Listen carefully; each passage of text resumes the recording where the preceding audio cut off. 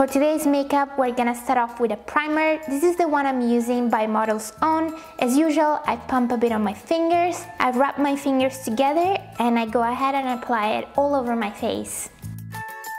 Here you go, you can definitely tell a difference who put this lamp here. Next we have to create a smooth canvas, so I'm taking this Tarte foundation, which I really like because it keeps my skin from getting too oily. I'm actually gonna move it from one finger to another, and my lips is out. Oopsies. Find a position that you're really comfortable in and then dot the foundation across your face. You have to blend it so I'm using a flat top brush and that, that is a lot of foundation. But that's okay, just keep blending everything and it will get better.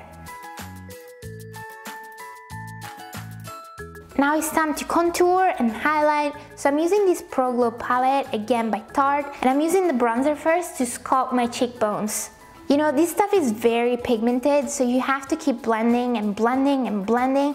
And if that doesn't really work, just get rough with it.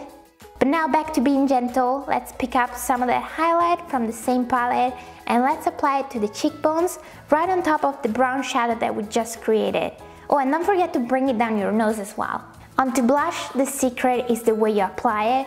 Make sure that you go for a swirling motion. So you see, that gives you such a sweet and innocent look. But let's not forget about the eyebrows. I'm using this pencil by Paul & Joe to create long strokes so that my brows not only look fuller, but also much longer. If you can pull off this look, just go for it.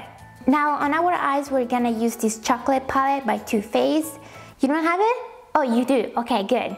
This beautiful purple shade and apply it from the inner corner all the way out, covering all the lid space, all the way up to the brows. You really don't want any space in between with this look just like this. Now take the golden eyeshadow and draw a line across your eyes as if you were applying eyeliner. This will just help create this stunning, unexpected factor.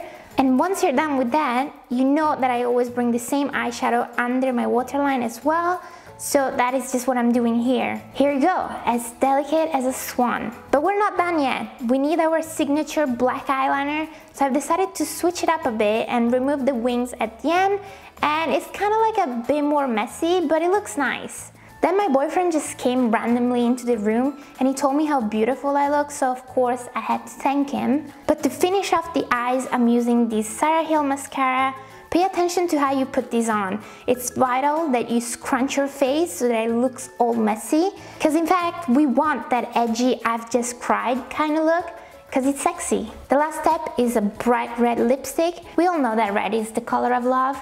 Absolutely make sure that your lips are dry for this. Honestly, I'm really feeling myself. But seriously, now open really wide and carefully apply the color. So here's the complete look. It's sexy, it's unexpected, it's anything that you want for a sexy spring date. Your partner will also definitely love it, it's guaranteed. But yeah, this is it. I just really hope you liked it and I will see you soon. Bye! Thanks for watching!